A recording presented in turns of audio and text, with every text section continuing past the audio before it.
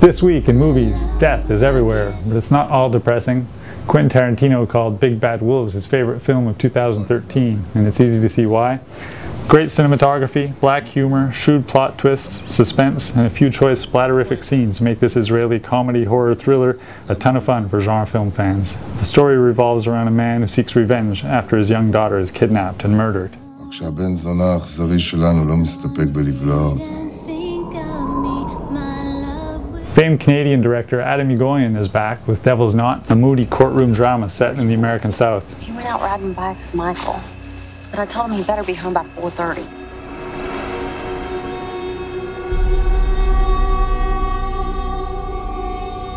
I don't see the boy nowhere. It stars Reese Witherspoon as the mother of one of three boys who are murdered, and Colin Firth as the scrupulous defense lawyer who looks beyond the obvious when a group of goth teens are pinned with the crime. It's a very delicate situation.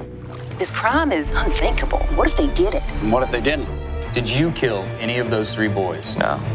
Anytime anything weird happens around here, people blame it on devil worshippers. American actor Thomas Haden Church, whom you may know from the film Sideways, stars in Quebec director Emanuel Hoss-Desmarais' darkly comedic drama Whitewash about a snowplow driver who kills a man, buries the body, and wakes up alone in a snow-covered forest.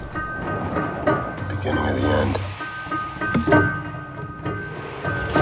I didn't do anything wrong.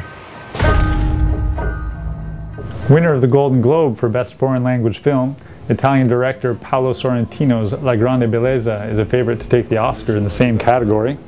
This existential, Fellini-esque reverie follows a 65-year-old writer and socialite through a few sleepless nights as he wanders the streets of Rome and tries to make sense of his life. in quello che si potrebbe definire il vortice della mondanità. Ma io non volevo essere semplicemente un mondano. Volevo diventare il re dei mondani.